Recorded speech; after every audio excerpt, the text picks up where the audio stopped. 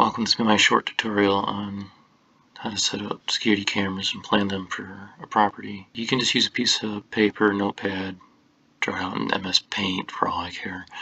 Um, but I have the luxury of Photoshop. Got that loaded up in here. Start planning out what we want to see and where we want to put things. So we're going to start with the front yard here, which is pointing to the west. So we need to capture north and south of the west end of the house. We're going to start it's north.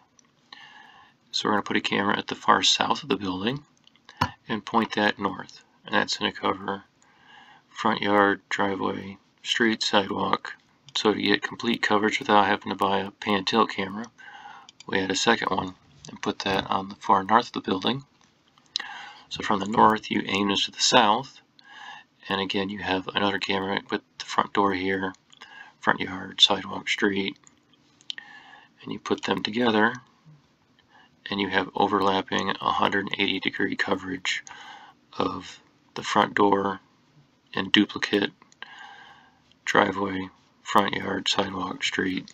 Nobody sneaking up on this house from the front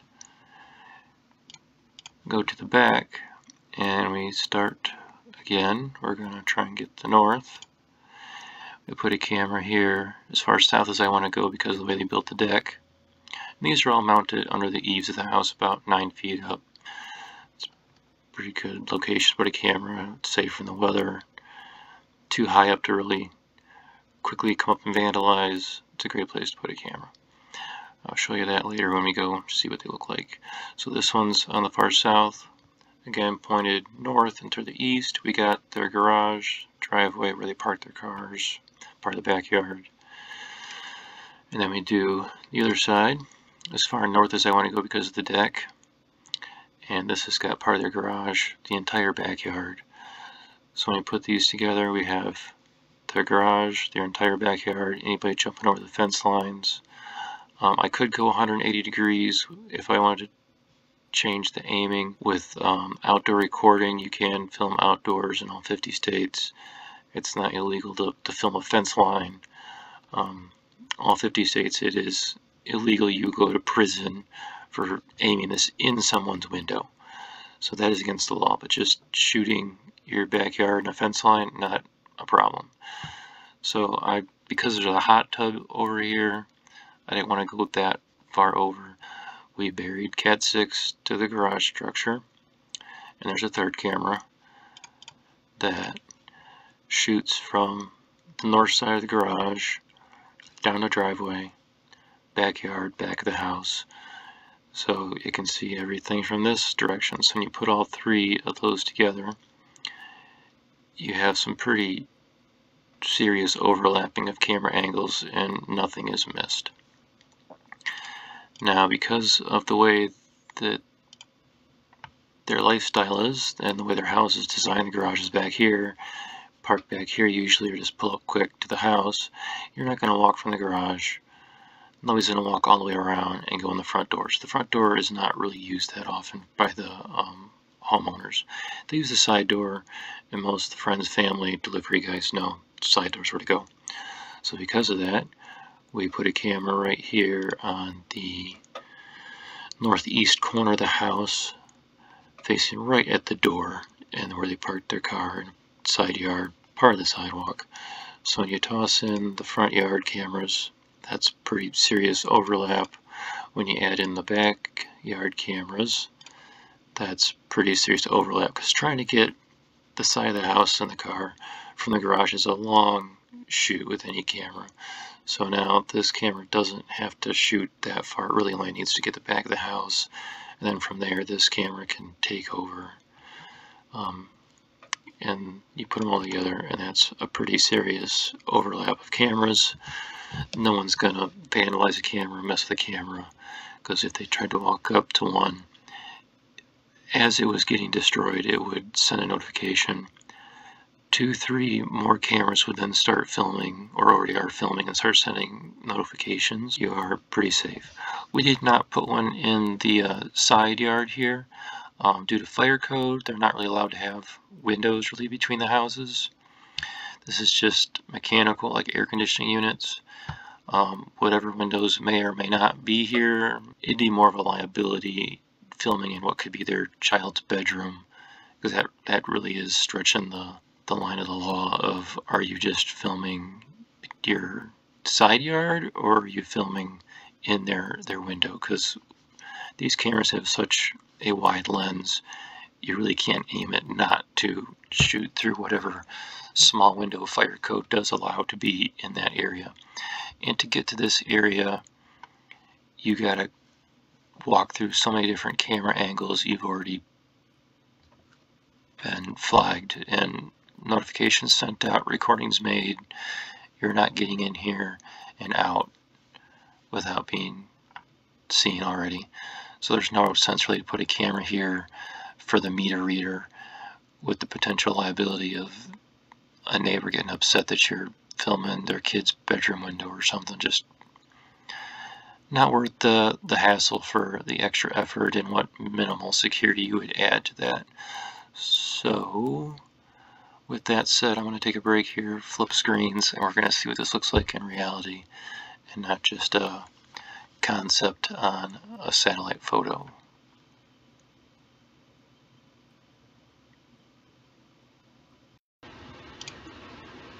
Okay, welcome back. We are going to look at some camera angles of what it actually looks like in real life. So here's your front yard, side door from the garage, and then the entire backyard. So as you see here, we see somebody walking from the north, and as you can see, we got, there's the front door, there's the front door, mailbox, mailbox, same tree, same tree. We got pretty serious overlap with these front cameras and we're going to watch them go. And I think even on the side door is going to grab them first thing. So they're, they're twice on camera already now. So there's two cameras that grabbed whoever this individual is. And then there's two, they already grabbed him on going south. Coming from the north, going to the south, already got him. So you're not sneaking up from the uh, front at all. Here comes car. See it and boom, it's got twice. So anybody walking up to the front door, the front door, or walking up and then going to the side door, you could, or even from this direction here, you saw him kind of drive by over here from the garage shooting all the way down the driveway. It's a long shoot, but it, it sees it. So we are going to skip ahead here a little bit and see some backyard footage. Okay, so again, got a car, both areas and the side door went through there. Um, here comes cat. Two already two cameras caught their cat going to their back door, and right there, back of the house, letting the cat in. It's there's nowhere to hide here. Yep, door's open. Already two cameras caught that. Two cameras caught the side door. They're already now on the backyard camera. So this is not just one camera pan tilting around trying to, to follow someone and send a notification. It's cheaper single mount cameras about nine feet up on the house that are grabbing footage, recording it, setting notifications. Unless you're, I mean, even you got to be down the block shooting paintballs to knock out a camera and not get busted. So, I don't know why his hood is open. Interesting, funny.